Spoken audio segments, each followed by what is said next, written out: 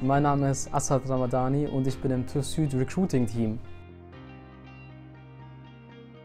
Es gibt einen ausschlagenden Punkt, der sehr, sehr wichtig ist, und zwar deine Leidenschaft zu Fahrzeugen. Wenn du jetzt nicht der Einserschüler bist, aber trotzdem einfach ähm, an Fahrzeugen schraubst und bastelst, passt du sehr gut zu uns.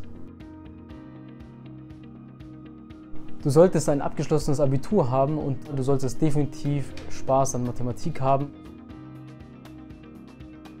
Das Ziel ist es, dass du dann auch irgendwann sozusagen die Zukunft der TÜV Süd Auto Service GmbH bist. Von daher ist es wichtig, dass du natürlich auch kommunikativ bist und mit Kunden und mit Menschen gerne umgehst. In der Regel gibt es ein erstes Forschungsgespräch und dann gibt es einen Probearbeitstag. Hier auch ein Tipp, keine Berührungsängste haben, viel fragen und du wirst auch unterm Auto ähm, dir das Auto mal anschauen etc. Nach diesem Probearbeitstag wird es ein zweites äh, Gespräch geben. Das ist eigentlich die Regel bei uns.